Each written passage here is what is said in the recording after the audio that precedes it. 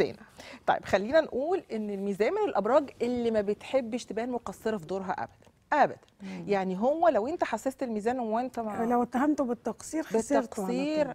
هيقلب آه،. الترابيزه عليك وهيطلع لك إن أنت اللي كنت مقصر ويجيب لك بقى طبعاً. التاريخ من الأول الميزان تتعاملش معاه في الحتة دي. يتخاوط ولا ولا يتحاسب. أيوه ولا أنا برضه ولا يتحاسب لأنه رافض يبص في مرايته.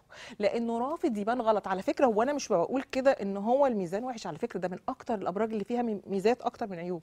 لأنه لبق ولأنه دبلوماسي ولأنه بيحب السلام. حد بيبغى السلام. لكن في طبعا عيوب اللي هي ولا بيشوف نفسه غلطان كسر مرايته. تاني حاجة ما بيحبش يبان مقصر. وعلى فكرة دي ميزة. هو أنت لما بتحبي ما تقصريش في دورك. أنا بشوفها ميزة. لكن ال ال التعامل مع الفكرة دي هي اللي مش ميزة إنك هتقلب الترابيزة. بقيت أنت اللي مقصر وهو اللي على حق. ال- العقرب. وأنت بتتعامل مع العقرب تحط في الاعتبار إنك ما تستهونش بذكائه خالص. خالص. بيملكوا آه، آه، بيحكموا كوكبين المريخ وبلوتو بيديله ذكاء فوق ذكاء البشر العادي. يبقى العقرب ما تستهونش أعلى بذكاء. مستوى من من الذكاء واللي بيتعامل قصاده فما تتهونش بذكائه ما تستهونش بذكائه آه. وانت بتتعامل مع العقرب تفهم إن هو لا يجيد حاجتين ولا التنازلات ولا التراجع. دي حتتين ما بيلعبش فيهم العقرب. لا تراجع ولا تنازلات. ولا تنازلات. وحاجة تانية في العقرب معلش عشان العقرب مميز فإحنا في كذا حاجة لازم نحطها في الاعتبار انه ما بيغفرش الخطأ في حقه بسهولة. يعني انت لو أخطأت في حقه في أبراج تانية ممكن تسامحك وتفوت وتتغافل وتتجاهل. العقرب لا يغفر الخطأ في حقه بسهولة خالص. تحطها في الاعتبار. يبقى غفرانه صعب أكيد.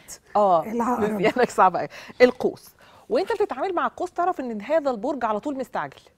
على طول مستعجل. إيقاعه سريع جدا جدا. فالقوس تحط في الاعتبار إنك بتتعامل مع شخص مستعجل على طول. ايقاعه سريع وعنده حيوية وحياة. بالظبط. تاني حاجة في القوس وانت بتتعامل معاه تعرف إنه تاجر شاطر جدا في التجارة وفي البيع والشراء وجمع المال لأن يحكمه Jupiter.